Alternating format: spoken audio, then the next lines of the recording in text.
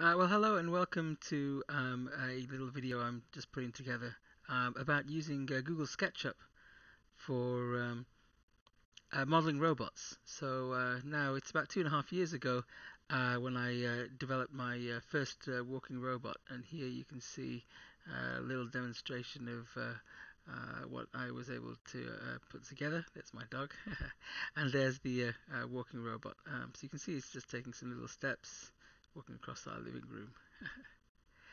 uh, now, uh, I wanted to improve on this, um, and uh, uh, I didn't really want to build a whole new robot. Um, uh, I wanted to be able to prototype it um, in virtual reality, and then um, and, and then build it once I'd perfected it. So. Uh, what I did is um, I tried using some virtual reality programs and didn't get anywhere. Uh, and uh, mainly because things are still in development and you know waiting for new um, upgrades and all sorts of things. Uh, and also, it took a lot of resources, so I used a different source instead. This a SketchUp, uh, straightforward Google SketchUp, with a little plugin called MS Physics, uh, which you can see here. MS Physics. Uh, just briefly, MS Physics. You can download it. Uh, by it's written by this chap Anton Sinit Tizia, I think it is, uh, who is uh, a genius as far as I can see. So anyway, uh, what I did is um, uh, in in this you can build real physics um, uh, uh, objects. So just to give you an example, so this is an object. Now at the moment this doesn't do anything, but just for your interest, you can just see if I give this some gravity. Okay, so when you run the simulation, by running this, it'll drop. Yeah, okay, great. Okay, you can see all sorts of other things happening here. These are, uh, uh, as well as that, you can make uh, joints. You can see here, these are servo joints here. If you click on them, uh, you can actually um, edit their content here. So I need to come out of this. So again, if I look at this again, uh, you can see here. So here's a servo, uh, and if you look at the um, interface here, uh, you can um, set your, you know, various parts of your servo, and you can set um, the control panel uh, programmatically to uh, to control it. Uh, okay, so uh, the great thing about this, uh, it, you, you, you may or may not be aware that you can actually um, um, program things within SketchUp, and with the MS Physics, you can actually write your whole software. the nice thing is you don't, unlike Unity, um, you don't have to then build all your objects from scratch or import them. You can all just you can just all have them natively um, and use them. So uh, just to give you an example, so here's my um, robot here. Uh, which I built. You see all these various joints, um, and this will uh, have real gravity. Uh, I mean, I, I, actually had this just now um, having gravity, but we'll turn off the gravity. You don't want gravity on this particular object. Okay, and uh, so um, uh, in this case, this this real world object, uh, so this 3D physics object um, um, has a Ruby script attached to it. So this uh, basically uh, runs um, uh, time to you know to click forwards, and and and you can use that then to to animate um, your 3D object. You can set um, various servo positions, which is what these are here. These are preset servo positions that you can put in. And in my program, I've designed it so that uh, it's linked to these toolbars, and I'll explain that in a minute. So I think better just run it to show you what it does. Uh, so if I click play, you'll see I have a whole load of servo controls here. Uh, so just to give you an example, so uh, these are labeled, so anything starting with 1 is the green side of the body, anything starting 2 is the red side, anything uh, without a number in front is a uh, is the is this central spinal thing, so that would be uh, rotation. So just give an example. This is rotation of, uh, uh, so this is uh, movement in the uh, anterior posterior plane. This is rotation. Uh, you can move the arms as well. So, oh, that's not an arm, that's a leg. to be set. And, start again. So again, now you can move the arms. So I think so. I started. So this is one, two, three uh, so one, two, three, four, five, six. So if we move to five, I should move the green uh, arm, and two six should move um, the arm inward outward, as you can see. Okay.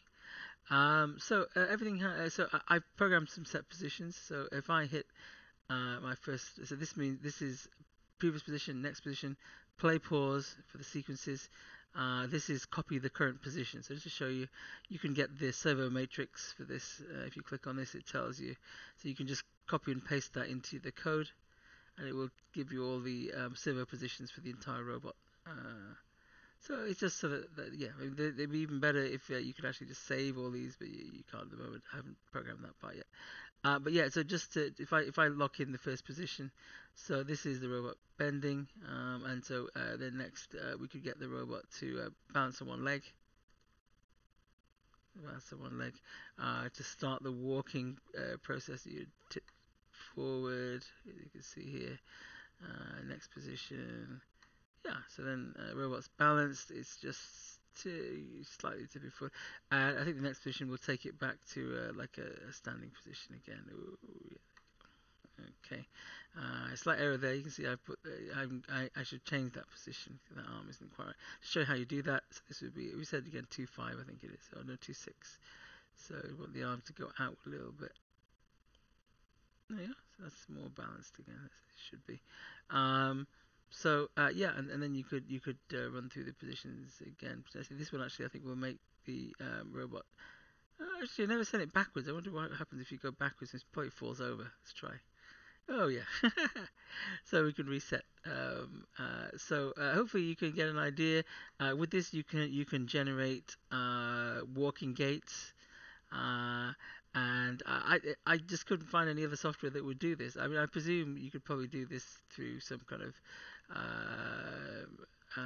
maybe from um, oh, I forget what it's called now. Um, uh, on, on, some Linux software, but SketchUp is super fast. Um, it's actually very easy to program this. Uh, I think it's far easier than having to do it through some anything else. Uh, and Ruby actually is very straightforward. Um, uh, and it's actually quite well documented. So I was very happy with uh, uh, with using this. And again, I'll just show you um, uh, playing through a couple of positions. So again, as you can see, what will happen when I when I click play, the servo positions will update as as it's playing. So let's have a look here. So that's a better stop it because I think it, it, it falls over on the second. There you go.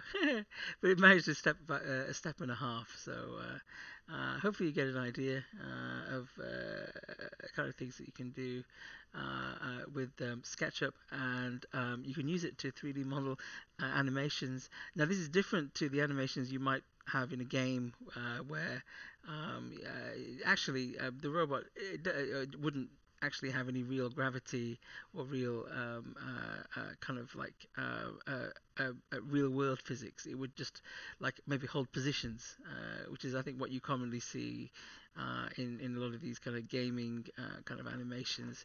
this is different. This is actual real physics, and you could then put the program the same. Um, if you if you built the the robot and, and, and put the servo positions in, you'd then have a walking robot. So um, uh, again, um, so uh, if any of you guys want to develop my Ruby code a bit more, that would be great. Um, uh, I had actually one um, uh, problem uh, with with the Ruby code, uh, and that was um, with the JavaScript that comes with um, MS Physics. Um, if I used to show you, you can't it, the the update for the slider positions it doesn't work, so I have to uh, keep destroying the servers and then re re um, uh, initiating the the, the, uh, the, the whole kind of slider HTML and JavaScript, which is um, a real pain. Um, uh, it would be nice if uh, if the if the slider servo position uh, commands work correctly. And I think I sent the guy who wrote it um, a note just saying, please can you fix it um, somewhere. Where's it gone now? History. No.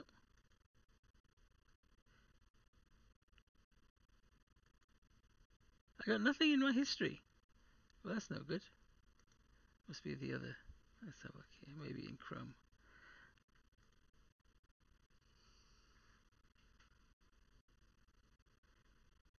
No, not there either. Oh, recently closed. No, none of those. Great. Well, it's not really that helpful. Uh,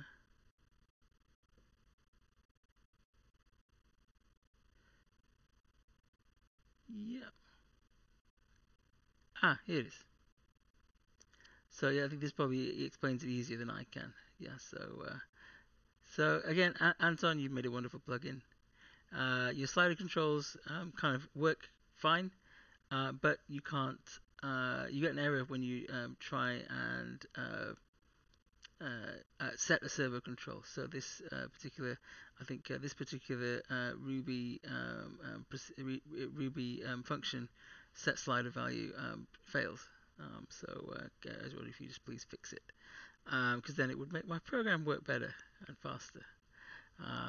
so yeah, okay. Uh, so thanks very much. Hopefully you enjoyed this video, and um, if you're a uh, budding um, bipedal robot kind of uh, guy like I am, then hopefully you'll find it um, helpful in, in, producing robots. Uh, if anybody uh, can make a really good kind of set of um, servo positions for walking, that would be great. and all you have to do is um, load them into my script. Uh, so you what you do you so just to give you an example uh, if I run mine I think it's is it already running? I don't know it is now. Uh, so we would go to this position. I think that's as far as I got. Uh, oh no let's try again. I shouldn't do that. Uh, so let's try again. So I think I was just a bit too eager. I gotta give it time. Yeah. Okay, so now uh, we're up to here, and what needs to happen is uh, we need to get this guy's foot down and uh, the balance to switch over. So how would we do that? Uh, I think, uh, uh yeah, I, I, think this knee joint needs to pull forward. Uh, this, I think the knee would need to extend a bit. So I said this knee forward.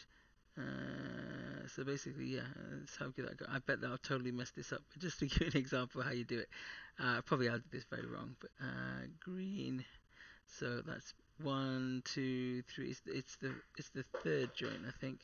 So green three. Watch me make the guy fall over now. Uh, oh, that's red. So we want to extend that one anyway. So, so, okay, and let's try green three. Oh, Okay, so now you got the idea, but that ain't right. Uh, say if that was actually the good, a good position, which it isn't, uh, then what you would do is you'd click this last button. Uh, it'll pull the servo code for you. Okay, so uh, and then you'll just copy this. So right click copy, and what you do you'd end you'd end the simulation. So th that would be the so the fourth position. I don't know something like that. Okay, so what you do then is you'd go back to the actual. So get out of here. Uh, go back to the script uh, uh, and then because uh, then we copied the servo positions, so um, I don't know where it would go. Maybe I think it would be so that, that's that's that starting position. That's bending knees.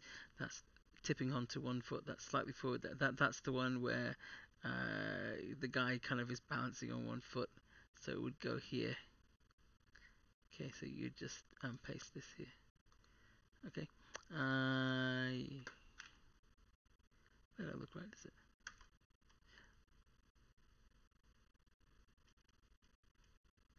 Should be an end bracket. A, something went wrong there. Okay. So it's, it's this line. So I think probably the easiest thing, maybe just attach it like this. Okay. Uh, there should be a closed bracket on there. Oh, that's disappointing. I had to change. I had to, so that should be. But anyway, you get the idea. So uh, you put five there. Um, probably get rid of. Uh, with six, seven, eight. Uh, if you want more steps in your um, uh, uh, in your sequence, you change um, uh, the number in here. This one. Uh, this determines how many um, uh, um, how many steps there are. So really, actually, this should be multiplied by yeah, six. So multiplied by. Say if you want all um, eight steps, you probably be multiplying by eight. So he puts a nine. eight and then 8.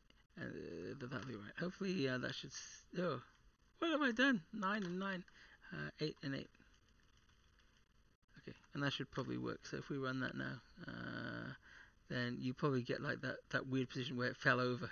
if I don't want that position. Okay, so The robot's tipped. Move forward. That's the weird position which I managed to like kind of balance. This is the next one which actually didn't work. Whoa! Get a little kick, kick. Uh, well, should have happened. It should have stored the kick and the other bit. Oh, okay. Well, that's, that's interesting. That makes it fall over though. Uh, but yeah, you can see whoa, all those positions. Whoa, I don't ask me why it's flying. Oh yeah, because uh, yeah, and the reason they say this is a bit slow because uh, every time you see these things are being flipped out because of this programming bug. Uh, that's not my fault. It's the guy who developed it. Uh, we need it needs to fix his his set slider um, uh, uh, um, uh, like function correctly, and then it will be working great. Um, so anyway, hope you liked the video. Um,